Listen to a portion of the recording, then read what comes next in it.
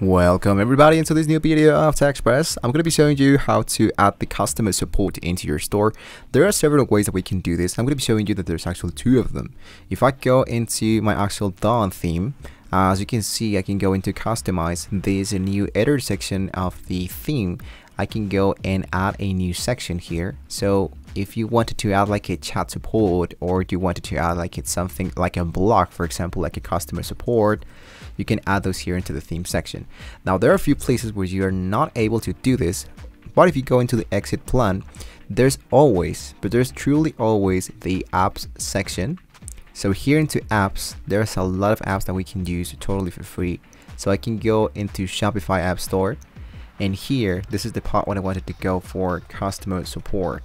Always look out for the keyword support. Is free plan available and high chances of downloads.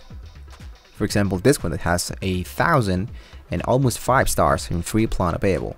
So I click this one, I go into the add application, I install the application.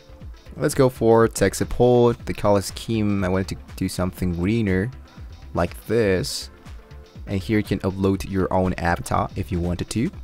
The language it should be English. I hit now into continue and my main focus in is like I want to solve customer problems. Uh, number supporting annual, let's say four, five customers and hit now into continue. And you can customize this message if you wanted to, like hi there, if you need any assistance, I'm always here, or you can customize the message as you wanted to. So then you have to set an actual passcode. And there we go, you have the chat with us. So I'm to click here and let's go for, hey, I need some help. And please introduce yourself. Let's say that I am, I don't know, maybe hello at gmail.com. And there we go. So this one should be taking us now into the panel where I can see that I have a new message here. this is how guys we can start to have some live stuff into our actual store.